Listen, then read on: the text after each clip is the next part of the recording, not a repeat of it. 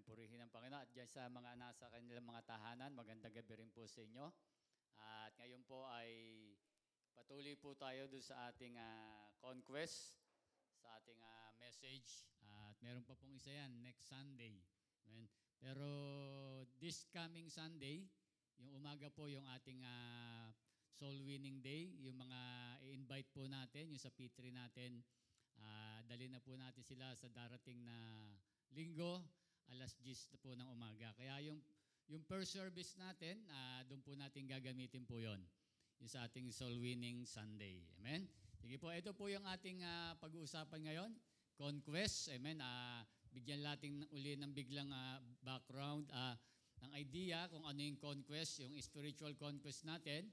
Sabi nga natin sa maya, ma, ano ba to? mababaw na pananalita ay yung pong ah, pagpapanalo natin ng kaluluwa kay Kristo o yung pag-invite o yung gusto natin na ma-born again sa sadaling salita. Yung mga kama, kaibigan, kamag-anak natin. Yun po yung ibig sabihin niya, yung gagawin natin na yan. Amen. Next slide. Yeah. Ayan. Yung po yung ating una, yung unang series natin, We Must Prepare. Kailangan natin ng paghahanda para tayo ay magpanalo ng kaluluwa kay Kristo. Mayroon tayong pananampalataya, yung pangalawa. At yung pangatlo, we must do the right thing. Kinakailangan tama yung ginagawa natin. At pangatlo, ito po yung pang-apat, ay pang-apat, beware of the works of the enemy. Yan. Alam niyo po, sa ating ah, pag, ah, pag, pag-aaral po ngayon, Hin- nakita ko na yung binibigay ng Diyos na pagkakataon ay nandun talaga yung perfect timing niya. Di ba?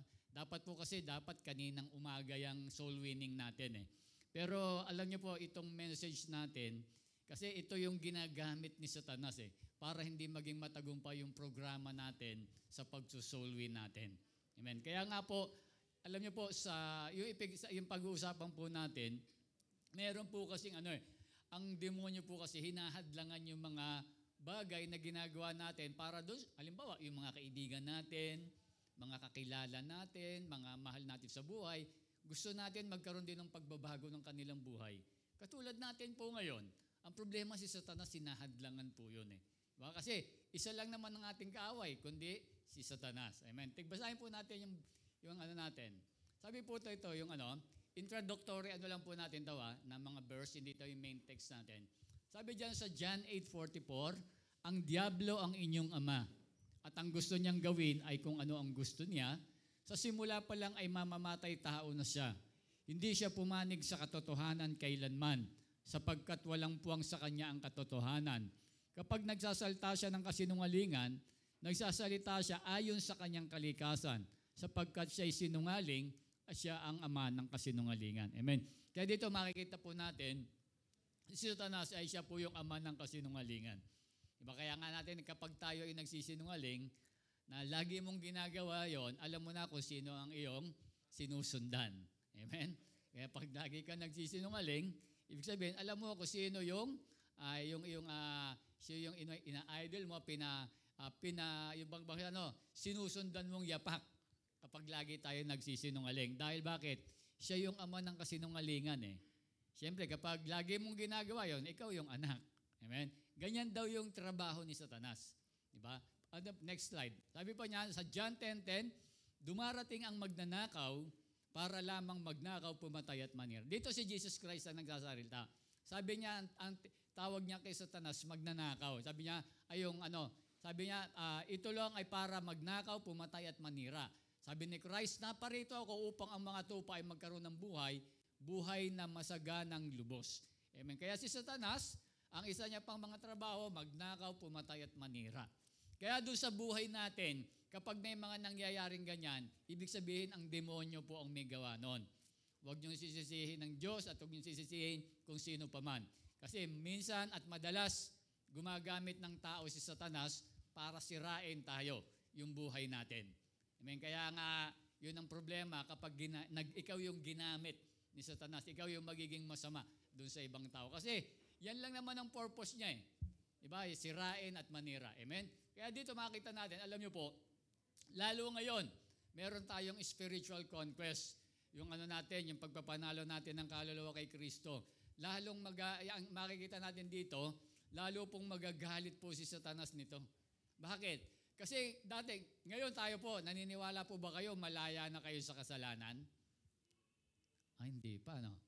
Hindi halata. Ibig sabihin ng malaya sa kasalanan, yung hindi mo na ano, ibig sabihin na, kasi pag alipin, dalawa, malaya at saka. Pag alipin, gawa, sunod ka na sunod, gawa ka ng gawa ng kasalanan. Kasi nga, yung sabi nga, yung diablo ngayon, mag ganun nangyayari. Gawa ka ng, pag may kasalanan, ginagrab mo kagad. Diba? Bago ano, hindi ka nagigilty ba? Hindi ka tulad kapag ikaw ay malaya na sa kasalanan, kapag tinanggap mo na sa Christ, pag merong kasalanan, medyo hindi mo na siya kinukuha. Kasi ang Holy Spirit nagre-reveal sa iyo eh. Iba, diba, napakinggan mo yun, nabasa mo yun. Hindi, pero kapag ikaw, ikaw ay alipin, grab ka lang ng grab ng kasalanan. Wala, ibig sabihin, wala kang takot gumawa ng kasalanan. Di ba? Ano ba yung kasalanan? Yung paglabag sa Diyos. Di ba? Kapag alam na, alam mong bagay na paglabag sa Diyos na masama, kasalanan yun. Kaya yun, lagi mong ginagawa, ibig sabihin, alipin ka pa rin ng kasalanan. Eh, ganyan yung gagawin natin ngayon. Magkapanalo tayo, gusto natin, maborn again yung mga mahal natin sa buhay, kaibigan natin. Eh di ibig sabihin, yung mga alipin magiging malaya. Lalong ayaw ni Satanas yan. Amen? Kaya makita natin, meron kasing mga nagiging hadlang. Kaya ito po yung ating pinaka, ito pa sabi man ng Romans 5.1. Sabi diyan, sapagkat napawalang sala na tayo sa pamamagitan ng ating pananampalataya. Di ba? Sabi niyan, na, pinatawad na yung ating mga kasalanan.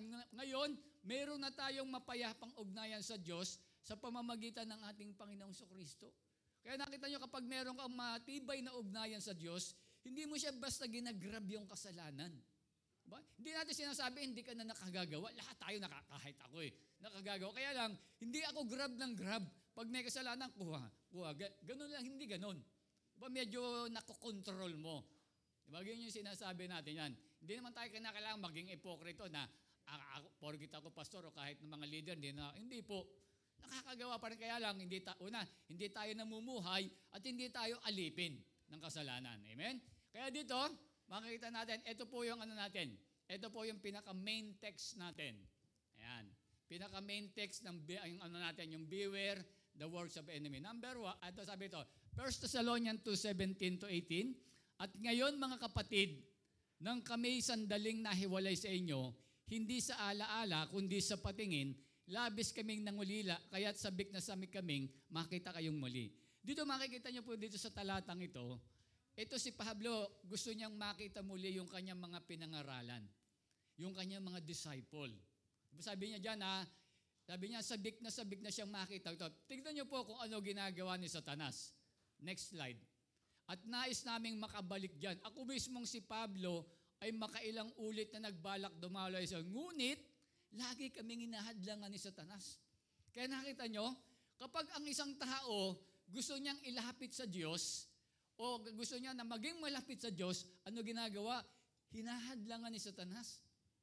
Kaya ngayon, nakita natin ngayon, tayo po, meron tayong mga tao, sabi ko nga na gusto natin na maborn again. Ang ginagawa mo ni Satanas, hinahadlangan niya yan. Amen? Kaya po yun po yung uh, gusto natin pag Kaya ito po yung pamagat natin. Yan. Ah, ito pa pala, sa Peter, 1 Peter 5.8, maging handa kayo at magbantay. Ang diablo ang inyong, ang kaaway niyo ay parang liyong umuungal at aali-aligid at naghahanap ng malalapa. Di ba kaya nakita natin, ganyan po si Satanas. Di ba, hinahadlangan niya. Kaya ang, ano ba yung trabaho niya? Sabi niya, parang liyong umuungal, naharap ng malalapa yan. Eh wala namang ibang hahanapin diyan kundi tayo. Kasi yung mga yung mga unbeliever, mga unchurched people, alam natin, mga alipin sila ng kasalanan, hindi niya na lalapain yan, hindi na hindi niya na pupuntahan yan. Ang target niyan tayo po. Kasi tayo binago na tayo ng Diyos eh. Bakit kaya hindi tayo ang tar- ah, kaya tayo yung gusto niya na mabalik ulit doon na gumawa ulit tayo ng kasalanan at kasalanan. Di ba sabi niya, mapanira, pumapatay. Gusto niya bumalik tayo ron. Dati yun yung ginagawa natin, sinungaling tayo ng sinungaling. Pero ngayon hindi na. Amen. Kaya dito makita natin, tayo po yung hinahanap niyan tayo yung target ngayon, lagi ni Satanas. Kaya ito po yung pamagat natin. Ayan. Beware of the works of the enemy. Amen. Sabi nga po natin, beware of the works of the enemy.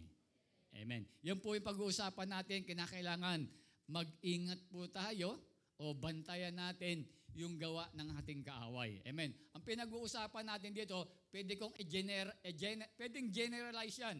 Kaya lang nakatuon tayo doon sa pagpapanalo natin ng mga kaluluwa kay Kristo. Paano ba ginagawa ni Satanas para pag tayo nagpapanalo ng kaluluwa kay Kristo, eh hinahara, hinaharangan niya, hinahadlangan niya. Diba? Na ayaw niyang mangyari yung mga bagay na yun. Yan po yung pag-uusapan natin. Amen. Next slide. Ayan. Bago po tayo dumako ron, ah, gusto ko pong bigyan muna ng ano, background kayo. Meron kasi malaki yung ah, gagampanan nitong mga Gibeonites o Gibeon sa buhay ni Joshua. Alam niyo po yung topic po natin mula nung simula, nandun po tayo sa Joshua. Um, nag-ano po tayo, sinisiris natin yung aklat ng Joshua. Di ba? Mula doon sa Joshua 1, nakaraan kay Pastora Tina, Joshua 7:8. Ngayon, Joshua 9 po tayo. Dito sa Joshua 9, ito yung gagamitin ni Satanas, yung mga Gibeon. Gagamitin ni Satanas na ito yung para hadlangan yung pananakop o yung pagpapanalo na, na masakop yung buong kanaan. Amen. Itong Gibeonites. Amen.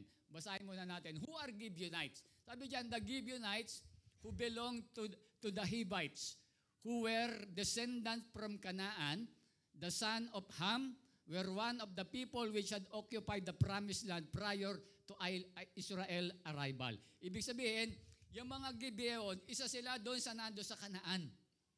Di ba? Sila isa sila ron na mga yung mga nag-occupy doon sa lugar ng Kanaan. Alam naman natin, di ba, ang Kanaan promised land. Yan po yung ibibigay ng Diyos doon sa mga Israelita. Kaso, merong mga nakatira na. Pero ang sabi ni Lord, i-conquest yan. Diba? Tignan na po natin yung Gibeonites. Sabi dyan, next slide.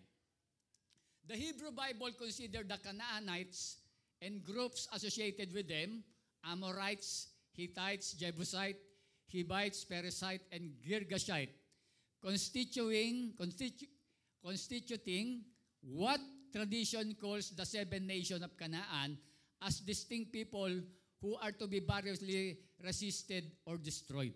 Ibig sabihin, diyan po sa Kanaan, mayroong pitong lahi. Mayroong pitong lahi diyan sa Kanaan. Hindi lang po nag-iisang lahi nandyan. Di ba? Yan nga yung Amorites, Hittites, Jebusites, at Hivites. Diyan sa Hivites, nandyan yung Gibeon.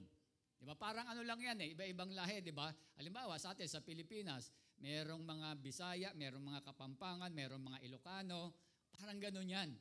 Di ba? Yung ganun, meron silang ano, meron silang iba-ibang doon sa Kanaan, nalo na sila sa lugar ng Kanaan. At sabi nga sa Kanaan, meron pong 31 cities.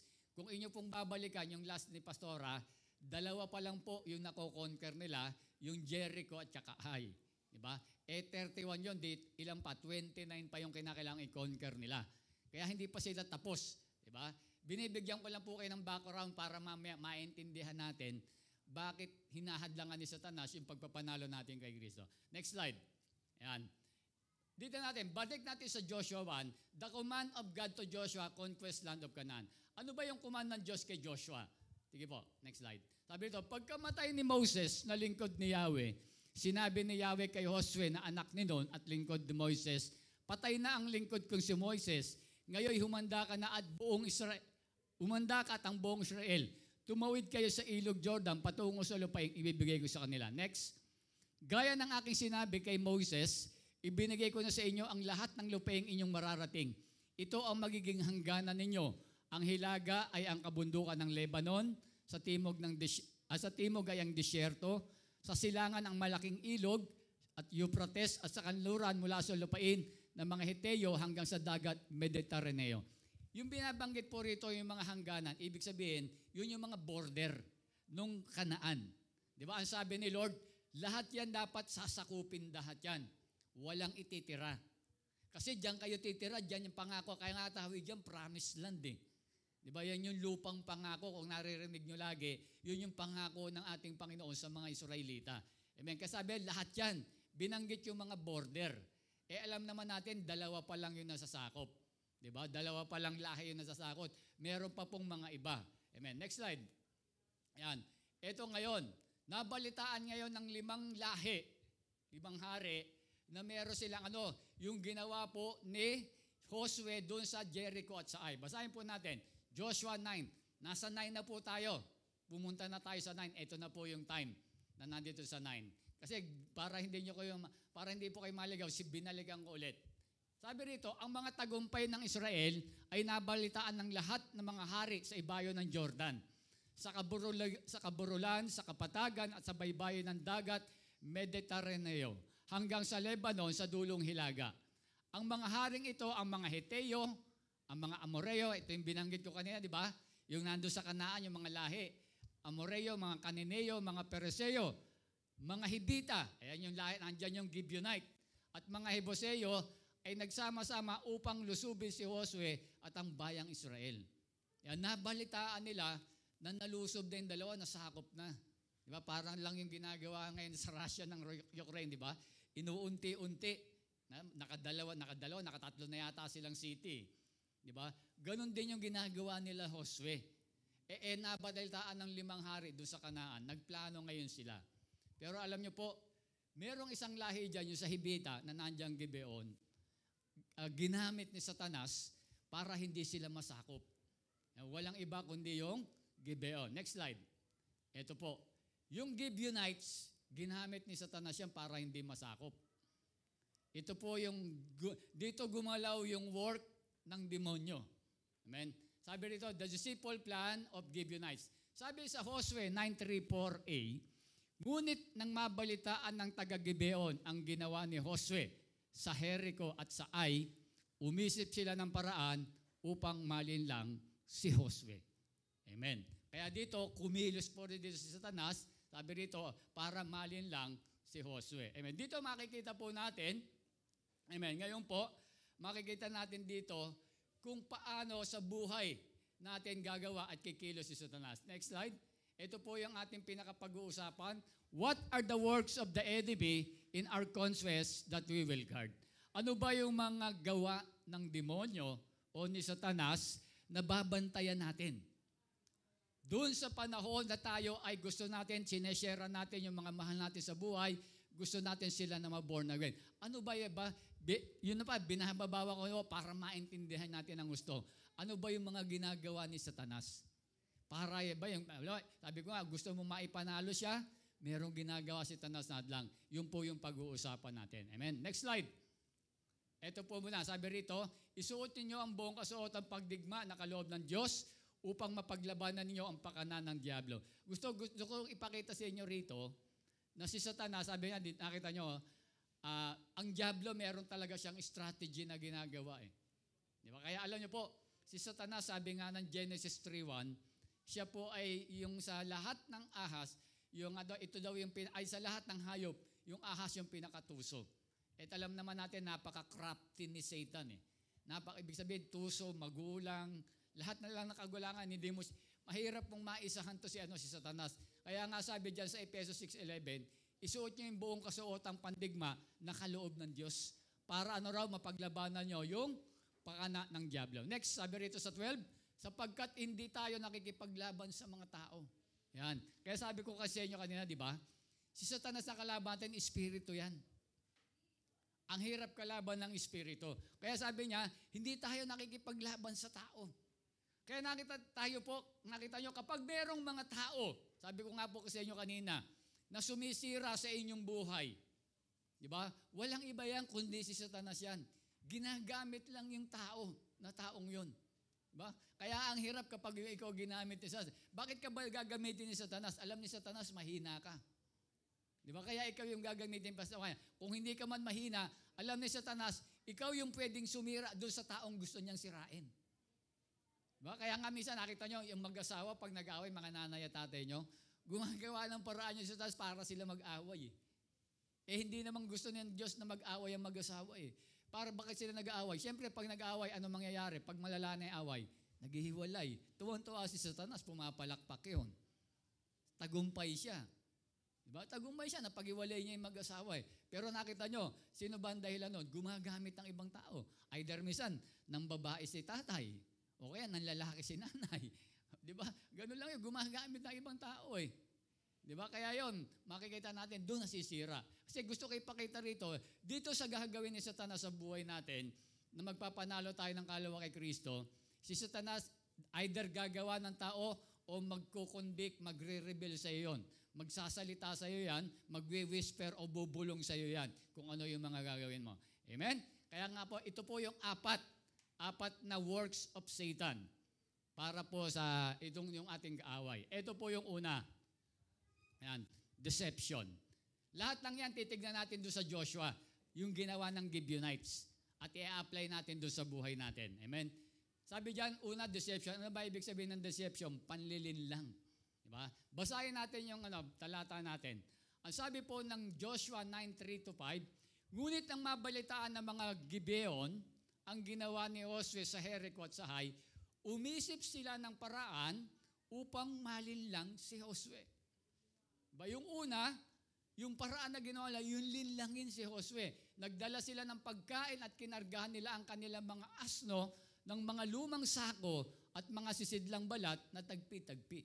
Ang una po makikita natin na ginawa ni Satanas dito ay yung linlangin po si Josue. Yun, ginamit niya po, di ba? Ginamit ni Satanas yung Gibeon, Gibeonites, para linlangin si Josue. Ngayon po, ganun din po yung ginagawa ni Satanas sa ating buhay para yung mga mahal natin sa buhay ay hindi ma-born again o yung sineshare mo na wagat, hindi maipanalo kay Kristo. Ito po yon Next, sabi diyan, yung deception una, nagdi-disguise. Diba? Ano ibig sabihin nagdi-disguise? Nagpapanggap. Diba? Nagmamaang-maangan, nagpe-pretend. Diba? Talata, sabi rito sa 2 Corinthians uh, 11.14, hindi ito katakataka sapagkat si Satanas man ay nagkukunwarang anghel ng liwanag. Baka makita nyo si, ang, si Satanas, hindi yan nagpapakita ng pangit sa'yo para linlangin ka niyan. Ba sabi diyan, di ba, nagkukunwan anghel ng liwanag. Kaya makita natin, Kapag minsan tayo ay nagpapanalo ng kaluluwa kay Kristo, merong mga taong ginagamit yan na kunwari tumutulong. Pero sa totoo lang, hindi yun yung pakay niya. Ang pakay niya, sirain ka para wag kang mag- mag- magtagumpay. Halimbawa, sa darating na linggo, dadali mo na yung, yung uh, pitri mo o yung ipapanalo mo kay Kristo. Alam nyo, bantayan nyo po, gagamit si satanas ng tao Minsan gagawin niya, yay, kung kailan linggo tiyang kayayain, o merong birthday, may pupuntahang resort, may pupuntahang binyaga, may pupuntahang kasalan, hindi ka ngayon makakapunta, yung dadalin mo ngayon, hindi mo madadala. Nakita mo, nagmamaganda lo, ba? Maganda yung, o kaya may iaalok na trabaho sa yan, o merong finances na bibigay sa yan. Magpapakita yan na tumutulong, magpapakita yan na maganda sa iyo, yung taong yan, sabi ko sa inyo, gagamitin ni Satanas yan. Para yung dadalhin mo, biro mo ang tagal mo nang pinagpe-pray, akalain mo itinapat ba doon sa araw na yon? Di ba? Akalain mo itinapat pa sa araw na yon, doon pa yung tapat. Hindi nagkataon yun. Ginagawa talaga ni Satanas yun. E crafty nga yan, tuso yan eh. Diba kaya yun yung titignan natin, yung gawa niya. Yung merong mga taong nagdi-disguise sa inyo. Hindi lang every sa soul winning natin. Kapag kayo po ay nag-share, di ba? Kaya alam ko naman, yung iba sa inyo talagang nag-share, sinesharean mo yung nanay mo, sinesharean mo yung tatay mo, yung mga anak yung mga magulang natin. Makikita nyo, gumagamit ng ibang tao yan. Para yung sinesharean mo, eh hindi, man, hindi, magpana, hindi natin madala sa gawain ng Panginoon. Amen? Kaya po yun yung unang mamatyaga natin, yung pagpa, pagkakatawang tao, yung pagpapanggap. Di ba? Nung mga tao sa ating buhay na Makita mo, kasi pag nakita mo yan, sabi ko sa inyo, pag ginagawa niya yan, tumutulong siya, nagpapakita siya ng maganda. Hindi yan yung inaaway ka. Yung talagang ma- ma-attract ka talaga. Ma-attract ka talaga, magugulat. Kaya yung ginagawa niya, magugulat ka na lang eh. Na hindi magugulat ka na lang, na hindi mo maipapanalo kay Kristo o hindi mo ma, hindi maboborn again yung taong uh, inilalapit mo sa ating Panginoon. Amen? Yan po yung una. Pangalawa, Proud. Pag sinabing proud, ano ba yan? Pandaraya o panloloko? Amen. Sino na po naloko ni Satanas dito? Oh, meron na rito, meron na rito, mga kabataan, meron na. Di ba? Alam niyo po, si Satanas gumagawa din ng paraan sa ganyan. Di ba? Yung sasabihin lang na, halimbawa, uh, yung mga kabataan natin, merong, uh, merong nanliligaw sa iyo. Sabihin mo, sasabihin niyo, sasama lang yan dahil nanliligaw sa iyo. Pag hindi na yan, ano, hindi na yan sasama sa'yo eh. Alam mo, nilalag... Kasi, kaya niya sinasabi sa'yo yon, nire-reveal niya sa'yo yon, para wag mo siyang dalhin sa church. Maniwa, maniwala ka naman na sinasabi yan, niloloko ka lang nga talagang, maipapanalo mo yung kay Kristo eh. Eh ikaw naman, maisip mo, nga, ano, baka nga niloloko lang ako itong lalaking to dahil nanliligaw lang sa akin to eh. Diba? Eh, yun yung mga ginagawa niya, niloloko ka, dinadaya ka lang niya eh. Diba? Pero sa totoo lang, yun maipapanalo mo kay Ero, gagawin ni Satanas yun. Alam niya, itong taong ito, ikaw yung gagamitin niya. Hindi lang nagkataon na dahil nanlili kasi madalas ganun yung sitwasyon eh, di ba? Minsan yung mga lalaki kasi kaya lang nanliligaw, ah, kaya lang sumaatin sa chance para dahil nanliligaw eh. Di ba? Kasi ganun talaga, di ba? Sabi siya, tag ganyan naman talaga yung mga sitwasyon, ganyan talaga yung nangyari. Eh hindi mo alam, nila dinadaya ka lang ni Satanas, ikaw talaga yung gagamitin ng Diyos doon. Vice versa, kahit sa mga babae, yung mga lalaki, di ba? Yung mga lalaki natin nandito, di, kunyari, ini-invite yung mga crush nila, di ba? Mga ganun, mga style nila eh. Di ba? Pero alam niyo, baka kayo yung gagamitin ni Lord. Di ba? Yun yung ano daw. Kaya huwag kang patatalo, huwag kang palawloko, huwag kang padadaya kay Satanas. Hindi lang, di ba, yung mga nanay tatay natin. O hindi naman kahit nanay tatay lang. Pagdating doon sa ano, di ba, yung iba, yung mga mangungutang na, sabihin sa isa, mangungutang lang yan, kaya sasama yan. Di ba? di ba? Sino na po nautangan dito? Di ba, nung sinama nyo rito? di ba? Huwag ka, alam mo, minsan may gano'n naman talaga eh. Pero alam nyo, sabi ko sa inyo, eh, minsan gumagawa yung si Satanas ng paraan eh. Di ba? Para, para lang talaga ano, lahat ng mga panlilin lang, pandaraya, panlo, pandidisguise, gagawin niya yan para hindi maipanalo kay Kristo. Kaya dignan natin yung mga sitwasyon, ngayon na tayo na talagang alam ko may dadaling kayo rito, tignan niyo po kung paanong kumikilo si Satanas sa inyong mga buhay. Amen? Palakpakan natin si Lord. Amen. Yan yung una. Pangalawa, lying. Yan, pagsisinungaling. Tignan natin kung paano nagsinungaling yung mga Gibeonites. Amen.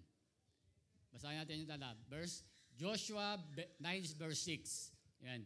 Pumunta sila kay Josue sa kampo ng Israel sa Gilgal, yung mga Gibeonites. Sabi niya, ganito ang sabi nila kay Josue at sa kasama niyang mga pinuno ng Israel. Kami po'y galing pa sa malayong lupain, nais po naming makipagkasundo sa inyo. Malayo ba sila galing? Hindi po. Magkakalapit lang sila. May mga border lang yung ano nila. Nasa loob lang sila ng kanaan. Di ba? Kaya nakita nyo, gaginamit ni Satanas na magsinungaling yung mga Gibeonites. Diba? Niya yung Gibeonites na mag Kaya makita nyo, pangalawa, makita nyo, gumagamit si Satanas, ginagamit niya, alam naman natin, di ba? Uh, uh, sasabihin ba ba natin, sabi nga kanina, John 8.44, siya yung ama ng kasinungalingan. Lahat ng klaseng pagsisinungaling, kayang-kayang gawin niya ni Satanas. Gagamit siya ng tao o kakausapin ka niyan directly para magsinungaling ka. Di ba? Para lang yung mga tao na gusto nating ilapit sa Diyos, ay eh, hindi natin sila mailapit. Next, kaya, yan. Sa pagsisinungaling, dalawang punto lang ang ginagamit, nakita ko ginagamit sa Satanas. Una, yung fake news. Pag sinabi nating fake news, yung mga false information. Di ba? Lalo ngayon, di ba? Uh, kahit hindi, ano, hindi, hindi, sa, hindi sa conquest, nakita natin sa social media, napakaraming fake news. Kaya payo ko lang po sa mga kabataan, o kahit hindi sa mga kabataan, huwag kayong post ng post. Tignan nyo muna kung totoo hindi. Na-edit po yung mga sinasabi, na-edit yung mga picture, maniniwala naman tayo. Lalo na yung mga vlogger. Number one, yung mga troll yan eh. Di ba? Yung mga vlogger, gagawa ng paraya para masira yung isang tao. Di ba? May, ang tawag po doon, mga fake news, mga poll. Kaya Wag po kayong, kaya dapat siguraduhin nyo lang, yung mga mainstream media lang talaga. Yung mga vlogger, ewan ko, yan, yan, yung mga, yan yung trabaho niyan eh. Diyan sila kumikita eh. Yung, yung sinasabi nating mga troll, di ba? Kasi nauso yan nung panahon ni Donald Trump eh. Di ba? Na talagang maraming nagiging troll. Yung gumagawa ng mga account na fake, tapos isirain yung kalaban, tapos maglalagay ng mga fake news, ng mga balita. Magugulat ka, binabago yung mga binabago yung picture, binabago yung date. Pero titignan mo, totoong totoo. Pag ikaw naman, mapapaniwala ka niyan. Si Satanas, ganyan po yung pagsisinungaling na ginagawa niya. Nagbibigay siya ng mga false information para sa atin. Amen? Kaya dito makikita natin, ano gagawin niya? Di ba? Sasabihin nga sa atin sa uh, dadayain tayo na, sabihin niya na, hindi pala matutuloy yung soul winning Sunday. Baga ganyan yung ganyan sa tanay. hindi na pala tuloy yan. Di ba? Ikaw naman, medyo uh, false information, maniniwala ka naman. Sabi pala dyan ni Pastor, isa lang dadalin. Diba?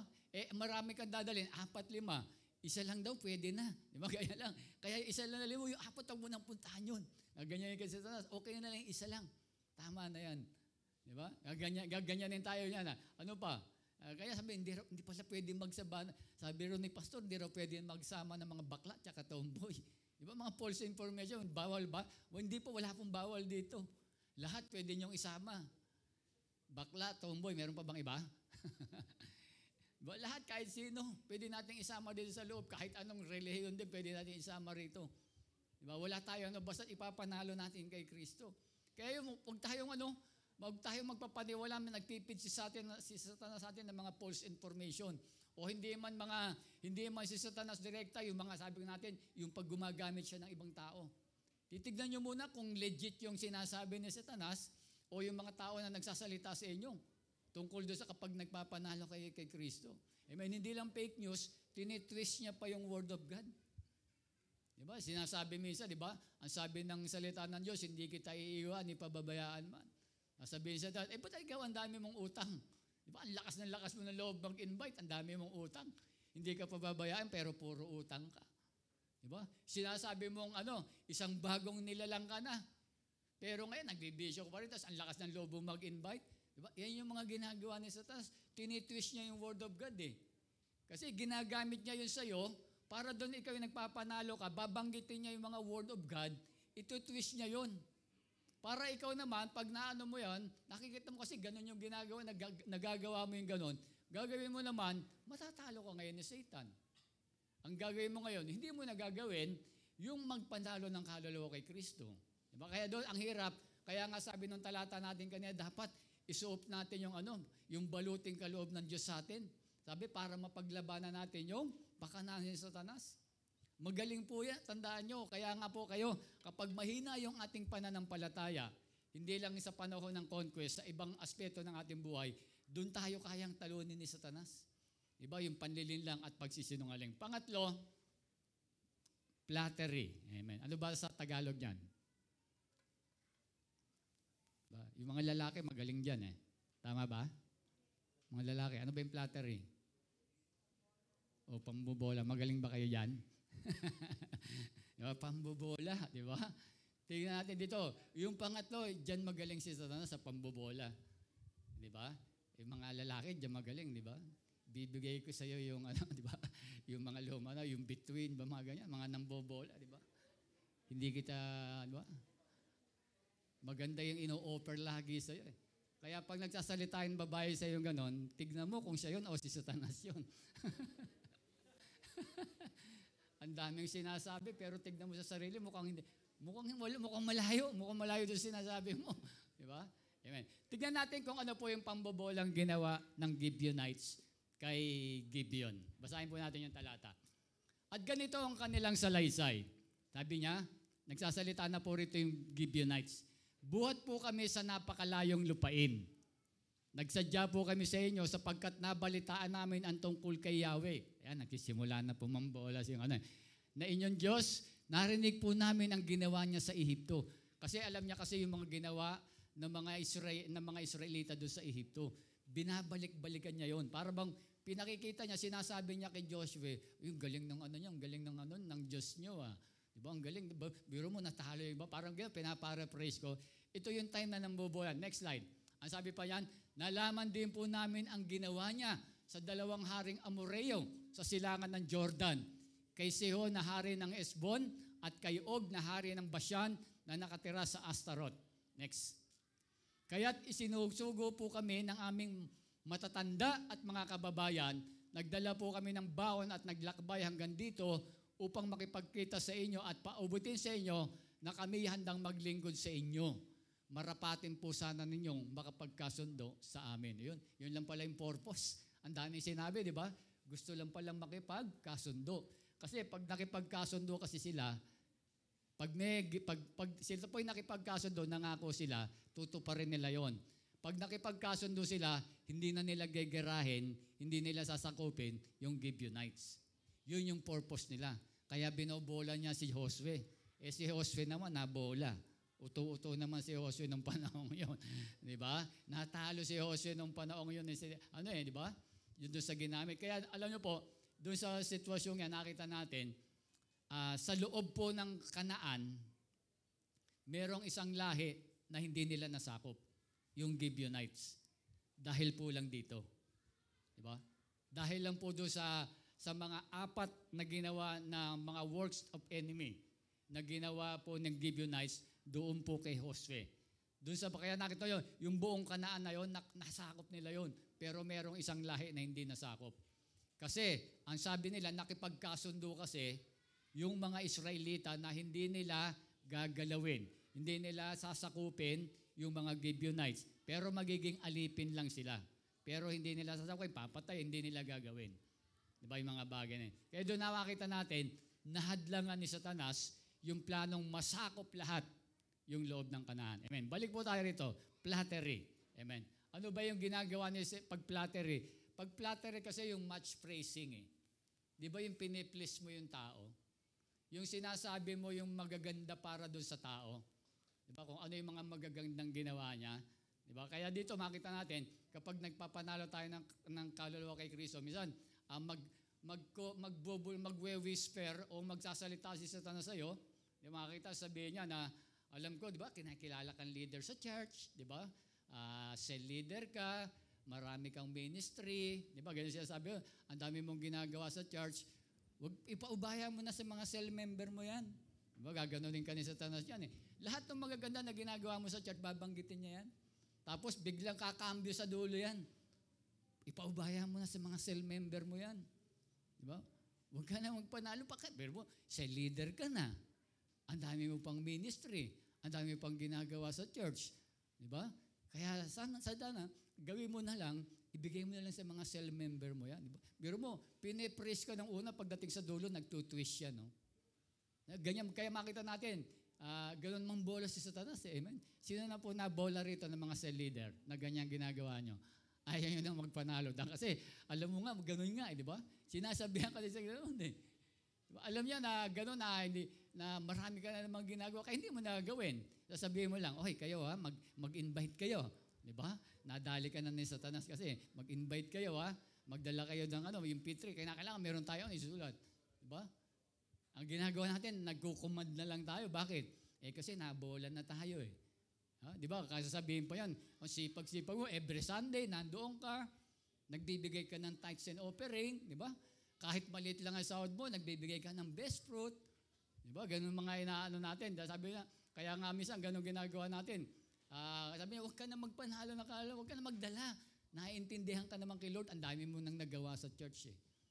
Diba, ikaw naman, mapo, mabobola ka. Oo nga, no. Diba, ang dami ko naman nagagawa. Bakit pa ako mag invite Diba, madami naman nag invite dyan eh. Hindi po, dapat lahat po tayo, kung may gagawin natin yun. Kaya nakita natin, di ba, ah, hindi po napakahirap mag-invite kasi la, ang problema lang, natatalo lang tayo nung gawa ng kaaway. Di ba? Natatalo lang. Hindi, hindi po may, may mag-share na tayo, invite natin. Ang problema lang, natatalo tayo kapag ganito. Di ba? Katulad niyan, yung, nabo, pangatlo natin, yung nabobola tayo, di ba? Naloloko tayo, na ano tayo ni Satanas, binibigyan tayo, binabanggit yung mga magagandang ginagawa natin sa buhay. Di ba? Ganyan yun. Ganyan yung ano, yung pambobola. Binabanggit niya yung mga mabubuti at magaganda sa atin. Amen. Hindi lang po much praise, ano sabi diyan? Yung mga matatamis na pananalita. Yan, di ba? Yung mga sasabihin niyan, ang bait-bait mo, ang galang-galang mo. Di ba? Yung mga sinasabi, napaka-humble mo naman. Boom. Biro mo, nire-reject ka na, balik-balik ka pa. Di ba? Tama na, di ba? Okay na yan, di ba? Na, balik. Pero nakita natin, binibigay niya pa rin yung ano eh. Mat, alam niyo kapag si Satanas kasi, magaling magano yan. Parang yung mga parang si si Oliver Bardahe? Nag ano, magaling na ano to eh. Ano tawag dito trabaho mo, yung nag-broker yan eh. Kaya madaling makabenta ng kondo yan eh. Di ba? Ganon ka ba, Oliver? Hindi naman hindi raw. Kasi hindi siya makakabenta ng kondo kapag hindi siya magaling magsalita eh. Di ba? Sasabihin niya ba, eh, yung kondo namin, hindi maganda, hindi maayos. Hindi, ba, papakita niya sa picture yan. Nakita ko, pinakikita niya eh, no? Eh, di ba? Kaya dapat gano'n. Kaya si Satanas, gano'n din po yun. Di ba? Gano'n din po yun. Magaling mag ano yan para yung mga gusto mong dalin sa Panginoon, yung gusto mong maborn, hindi mo hindi mangyayari. Marami siyang mga magagandang pananalita, ikaw naman madadala ka naman yan. Amen? Walakpakan nga po natin ang ating Panginoon. Amen. Sabi mo sa katabi mo, last na, last. Amen. Last point na tayo. Last. Tignan natin. Panghuli, tempted to make wrong decision. Amen. Ano ba yung ginawa ng Gibeonites dito kay kay Josue? Tingnan po natin. Sabi rito, tinikman ng mga pinuno ng Israel ang mga pagkain, ngunit hindi malamang sumangguni kay Yahweh. Alam niyo po kasi ang mga Israelita, nung panahon noon, kapag meron silang gagawing bagay, sinasangguni muna nila sa Diyos yan. Hindi ka basta-basta, gano'n katulad niya, no? merong lumapit sa kanila yung Gibeonites. Merong sinasabi na ganito na galing sila sa malayong lupain, ito yung pinakita yung mga pagkain nila, inaamag na, luma yung mga damit. Tapos, bago nila, tapos sabi nila, gusto nilang ano, makipagkasundo. Alam nyo, dapat yung kanima, nakita nyo yung verse bago dito, dapat hindi muna nila gagawin yon yung titikman. Sasangguni muna nila sa Diyos. Pero ano po ginawa nila? Natukso sila, natikman kaagad yung pagkain. Ano ngayon naging, naging, naging, ano naging resulta? Wrong decision. Kaya sabi rito, kaya't nakipagsang, nakipagkasundo sa kanila si Josue at nangako na hindi sila papatayin. Sumang-ayon din sa kasunduan ng mga pinuno ng Israel. Kasi natandaan nyo sa Joshua 1, lapat lahat ng yan sasakupin at papatayin. E di ngayon, hindi ngayon magtatagumpay sila ron. Bakit? Nakipagkasundo eh. Kaya nakita natin, yung pang-apat natin, si Satanas magaling manukso yan. Tandaan nyo, kapag kayo'y tinutukso, amen, hindi po galing sa Diyos yan. Galing kay Satanas. Dahil ang Diyos ni minsan hindi nanunukso. Di ba? Kaya si Satanas yung gumagawa niyan. Paano ba ginagawa ni Satanas yung panunukso? Next slide, kuya. Ayan, by argument. Si Satanas diyan magaling makipagtalo. Makipag-argumento. Ayan. Misan sa inyo po, di ba? Kapag uh, tayo po ay ano, ito yung ginagamit sa diyan tutuksuhin ka niyan eh. Magaling makipag-argumento yan. Si Satanas, sasabihin niya na, di ba, hindi ka naman dati nag invite Ba, ganyan yan. Ikaw naman, oh, nga, no, hindi naman ako nag invite Kaya sabihin natin, ba, uh, huwag ka naman, sabihin niya, huwag ka matakot sa cell leader mo. Yung ano, lagi ako sinasabihan ng cell leader ko, ba't nga ba ako matatakot? Hindi naman ako dati talaga nag-invite. Ba? Y- y- yung ano yung sa atin dyan, di ba? Sabi, lilipas din yung galit niyan. lilipas din yung galit niyan. Takot nga mawalan ng cell member yan eh. di ba? Yung mga, yung mga discarding sa that, bakit, ikaw naman nakikipag-argue ka eh. Di ba? Misa nakikipag-argue tayo, di ba? Yung mga ganyang bagay. Dito, makita natin si Satanas, mahilig makipagtalo yan. Di ba? Yung magsasa, magre-rebel yan sa iyo. Diyan yung napapansin, di ba? Pag meron kayong gustong gawin na hindi tama, pag tinutok sa kayo, nakikipag-argue si Satanas, ikaw naman, Oo nga na nakikipagpalitan ka sa isip, by mind. Di ba nakita nyo, ikaw naman nakikipagsagutan ka. Huwag mong gagawin yon. Pag ginawa mo yung matutokso ka talaga. Tignan mo si Jesus Christ, ano ginawa niya? Nung, nakiki, nung, siya kinaka, nung tinutokso siya ni Satanas, ano po ginawa niya? Ginamitan niya ng salita ng Diyos. Di ba? Nung sinabi niya na kainin mo yung tinapay, di ba? Gawin mong bato yung tinapay. Diba? Na, sina, nakipagtalo ba siya? Eh bakit ko gagawin bato to? Eh bato to, di ba? Ganoon. Ano sinabi niya? Hindi lamang sa tinapay nabubuhay, di ba? Ang tao kundi sa napuputawi sa ating bibig. Diba? Ganun, ginamitan niya ng word of God. Kaya ganun din po, kapag ganun siya nakikipag-argue sa atin, sa isipan, i-rebuke nyo kagad. Doon yung halaga bakit tayo nagdi-devotion. Gagamitan mo ng word of God. Kasi yun lang yung makakapagpatakbo kay Satanas. Di ba? Hindi mo kayang gamitan ng nuclear power yan. Hindi mo kailangan gamitan ng mga dome yan. Hindi mo kayang gamitan ng mga baril yan. Di ba? Eh, espiritu yan eh. Di ba? Espiritu yan. Eh. Kaya yung makita natin, yung argue magaling siya. Hindi lang by argue, by our weaknesses, yung ating mga kahinaan. Di ba? Halimbawa, ano ba mga kahinaan natin? Di ba? Una, pera, yung katamaran, ano ba yung mga kahinaan ng mga tao? Babae, lalaki, yung love life, ano pa, spiritual life, gagamitin ni Satanas yan. Diba, Lalo na, wala, estudyante pa lang kayo. Yun ako, wala ka nang baon, mag-iimbita ka pa, ipapamasahe mo pa yan. Huwag mo nang imbitahin yan. Diba? Sabi niya, ang layo-layo pa nung pa, magkano pamasahe, compute mo. Diba? Huwag mo nang imbitahin yan. Ganun, ganun sabi niyan. Niya, sa next na lang, kapag meron ka na, pag may trabaho ka na.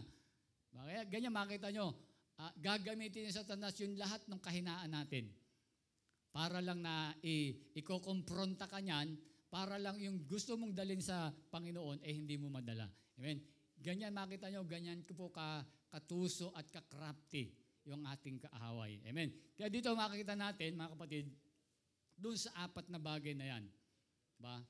Dadaan pa po yung anim na araw, March 6. Kaya makikita nyo, itong apat na ito, gagamitin ni Satanas sa atin yan. Ba? Yung mga, yung gusto nating dalhin dito, para hindi natin madala, gagamitin niya yung apat na yan. Kaya salamat tayo sa Panginoon. Alam nyo, nakita ko nga na dapat ngayong linggong ito, kaninang umaga yung ating soul winning day. Pero na usod natin ng March 6, meron palang plano ang Diyos. Kasi para bigyan tayo ng paalala. Kaya nakita ko ang Diyos talaga in a right time. God is good all the time. Di ba? Kasi maari yung iba sa inyo kung kanina malamang hindi nyo nadadala.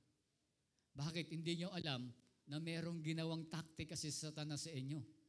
Pero ngayon, naraman na natin, di ba, nalaman na natin na ito pala yung mga strategy ni Satan. Ngayon, alam na natin yung gagawin natin. Sa darating na linggo, hindi ka nang haayang hadlangan ni Satanas. Amen? Amen? Ba, hindi, hindi na makakaya. Bakit? Alam mo na ngayon. Di ba? Kinakailangan maging matatag tayo. Amen? Last verse natin. Ah, pangalawa sa last verse. Sabi ng Genesis 3.1, ang ahas ang pinakatuso sa lahat ng hayop na nilikha ng Panginoong Yahweh. Isang araw, tinanong nito ang babae, totoo bang sinabi ng Diyos na huwag kang kakain ng anumang bungang kahoy sa halamanan? Alam naman natin na ang hayop, ay sa hayop, yung ahas, eh alam natin yan po si Satanas. Kaya nakita nyo, sabi dyan, yun daw yung pinakatuso. Pag sinabing pinakatuso, yung sobrang pinakamagulang na. May kakilala ba kayong ganyan? Napakatuso, napakagulang na tao. Di ba? Lahat ng kagulangan nasa kanya na. Di ba? Hindi, hindi mo maiisahan sa katusuhan. Di ba? Si Satanas masigit pa ron. Ang tawag ba, pinakatuso nga eh. Kaya ito po yung dapat natin gawin. Sabi po ng next slide. Ang sabi ng Ephesians 6.11, isuot nyo ang buo nyong kasuotan, isuot niyo ang buong kasuotang pandigma na kaloob ng Diyos upang mapaglabanan ninyo ang pakanan ng Diablo. Ba nga, sabi ko sa inyo, kaya tayo nagdi-devotion. Yung devotion, hindi lang yan para checkan ng cell leader nyo, ha? Yung mga kayo, baka kayo nagdi-devotion para checkan lang dahil para doon sa ministry nyo, hindi po. Yan po ay pandig, panlaban, yan yung panlaban natin. Yan yung sandata natin. Yung pagdalo nyo rito, sandata nyo po yan. Bakit? Naririnig nyo yung mensahe ngayon, kapag si Satanas nakikipag-argue sa'yo, may panlaban ka, narinig mo yung sinabi ni pastor eh.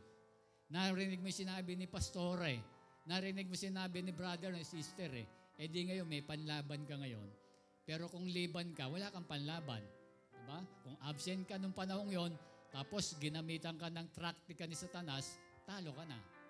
Ba, matutokso ka na. Amen. Next, sabi pa dyan, sapagkat hindi tayo nakikipaglaban sa mga tao, kundi sa mga pinuno, sa mga may kapangyarihan, sa mga tagapamahala ng kadilimang umiiral sa sanlibong ito, sa sanlibutan ito, sa mga hukbong espiritual ng kasamaan sa himpabawid. Next. Kaya gamitin ninyo ang kasuotang pandigma na mula sa Diyos. Sa, sa gayon, ito yung maganda, no? hindi ko na-highlight. Sa gayon, makatatagal kayo sa pakikipaglaban. Ba, nakita nyo? Malalabanan natin, makatatagal tayo pagdating ng araw na sumalakay ang masama upang pagkatapos ng labanan, matatag pa rin kayong nakatayo. Kaya nakita nyo, di ba? Sabi dyan, no? Makatatagal kayo sa pakikipaglaban. Kaya kinakailangan meron po kayo, mahirap na, so kaya nga tayo, ang, ang topic po natin, conquest. Mag, ano tayo, mag spiritual conquest. Kaya kinakailangan meron tayong daladalang sandata. Diba? Ang sandata natin, nung mula po ng January hanggang ngayon, nagpe-pray po tayo at ngayon ginawa po nating series yung ating conquest. Ito isang data natin. Alam ko na hindi na magtatagumpay si Satanas sa ating mga buhay. Tandaan natin, gusto natin yung mga kapitbahay natin, mga kapitbahay nyo, mabago yung kanilang buhay. Diba? Ako nga, nung ako yung na, na born again, doon ko na, na ano yung ganda ng buhay. Sabi ko, gusto ko rin maranasan ng ibang tao to. Yung naranasan ko sa buhay ko. Ewan ko kung naranasan nyo na yung, yung sarap na sa pagiging Christian o pagiging born again. Ako, ramdam na ramdam ko sa buhay ko yan. Hindi dahil pastor ako. Hindi pa ako pastor, naramdam na sinasabi ko na yan. Hindi pa ako pastor, sinasabi ko na sa sarili yan. Gusto ko maranasan din to ng ibang tao. Iba, iba yung pakiramdam yung dati ko sa pananampalataya, hindi ko naramdaman eh. Sabi ko, gusto ko sana ganun din yung damdamin nating lahat. Kasi pag ganun yung damdamin nyo, yung mga mahal nyo sa buhay, yung mga kaibigan nyo, share nyo ng Word of God yan. Dadalhin nyo yan sa Panginoon. Eh. Kapag kasi gusto mo, maranasan din ng nanay mo yun. Gusto mo, maranasan din ng asawa mo yun. Ba, ikaw, nandito ka lagi, naririnig mo, nakikita mo yung kahit na merong mga problema, ah, andun pa rin yung peace of mind. Alam mo, pag tumatawag ka, nakita mo, ramdam na ramdam mo yung, yung ano ng Panginoon sa'yo. Eh, ga- ganun bang kasarap, di ba? Sa ating buhay, ewan ko lang kung nararamdaman nyo po yung ganyang bagay. Ewan ko lang, kasi iba mga bago pa lang tagay, mga kabataan, di ba, na nandito eh. Pag, pag tumatagal kayo, tignan nyo po, mararamdaman nyo yung ganyang bagay. Iisipin nyo rin sa sarili nyo, sana ganito din maramdaman din to ng nanay ko, o kaya maramdaman dito ng kaibigan ko, di ba? maramdaman dito ng aking kapatid, gusto ko paranas sa kanya. Di ba? Ang sarap eh, di ba, na wala kang talo kapag nagli-reserve ka kay Lord. Di ba? May talo, wala kang talo, wala tayong talo rito. Di ba? Sabihin man natin totoo, hindi ang impyerno, wala kang talo. Di ba? Kung hindi totoo, may nangyari ba? Wala. Di ba? Eh, nasa langit. Pero kung totoo, talo ka. Di ba? Para ka lang tumaya sa isabong yan. Sino tumataya ng isabong dito? Di ba? Isa lang yan. Dalawa lang aanuhan mo. Dalawa lang pupuntahan mo. Eh, no? Nabanggit kay isabong. Usong-uso kasi. Eh, no? Ah, dalawa lang naman. Dal- ganun daw yan. Tinanong ko doon sa tumataya. Eh. Dalawa lang daw ba yung tinatayaan dyan eh. Di ba? Eh dito hindi naman tayo nagsusugal. Di ba? Para kang para kang sumusugal dito kasi nagsiserve ka kay Lord eh. Di ba? Yung nagsiserve ka ng tapat, kasi sabi nga natin, di ba? Yung iba, sabi, wala namang impyerno eh. Eh paano kung meron? Eh hindi ka naglingkod ng tapat. Talo ka. Eh ako, meron at wala, panalo ako. Eh ang sarap-sarap nga na mag-serve kay Lord. Amen? Sige po, tayong lahat ay tumayo. Amen?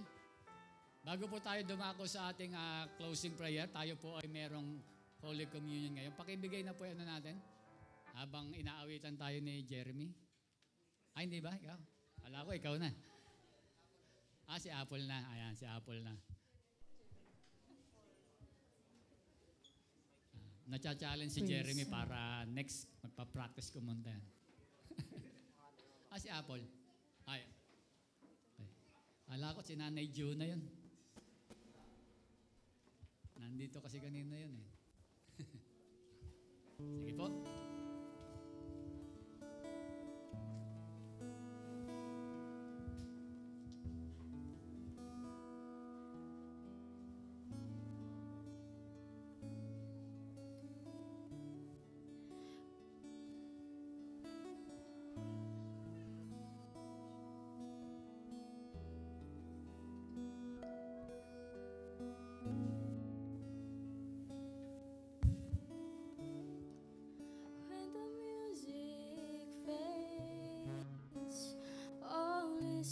Stripped away, and simply come,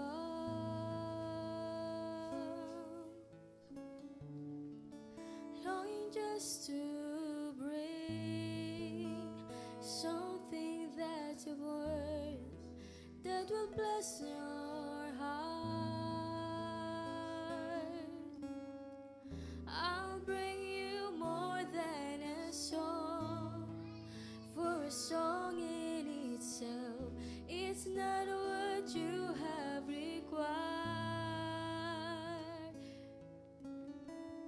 You've such much deeper within, through the way things appear.